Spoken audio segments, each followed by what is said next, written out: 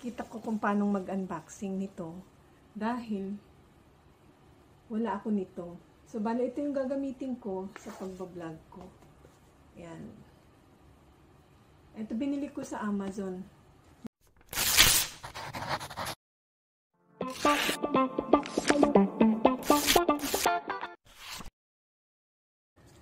At 10-inch port portable portable selfie ring with tripod stand.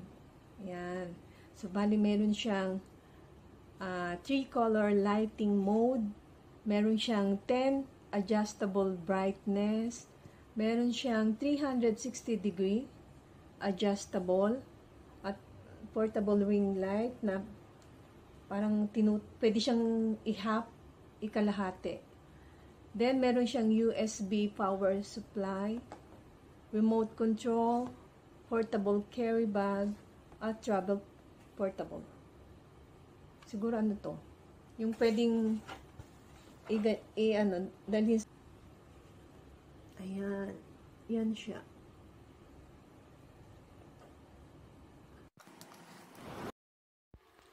Ayan. At bubuksan ko na tong box ng ring light na nabili ko. Good luck sa akin. First time ko lang gumamit nitong ring light. At mapipilitan tayo dahil tayo ay magbablog. At ito yung ring light na to ang gagamitin ko. Ayan. Natutupi nga siya.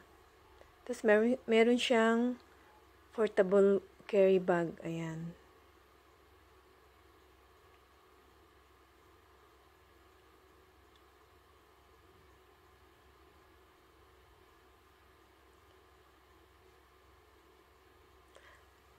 Dalawang purpose ng carry bag niya. Pwedeng i-shoulder, pwede siyang i-hand carry. Tapos, um, yan, yung instruction. Ayan guys, ah, inassemble ko na pala yung pinaka paan niya. Ano lang naman siya eh, ah, binabatak lang. Tapos may parang uh, stopper na kung hanggang saan yung pinakamahaba, pinama, pinakamaikli, may ano siya, stopper na naka-attach. Then, itong last na i-assemble is yung paano uh, ikakabit yung cellphone mo dyan.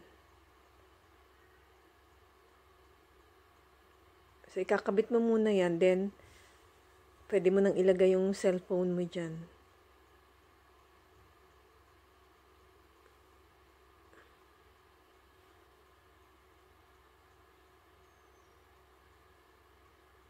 Ayan, at may remote control siya.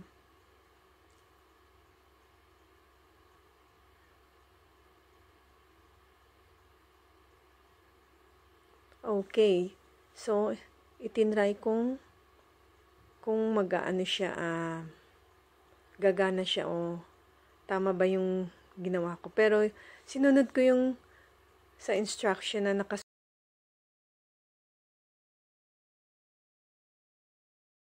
gumana naman siya. Ayan. Lumabas na yung light niya. Ibig sabihin, okay yung pag-assemble ko. Madali lang pala. Ayan. Sa beginner na katulad ko.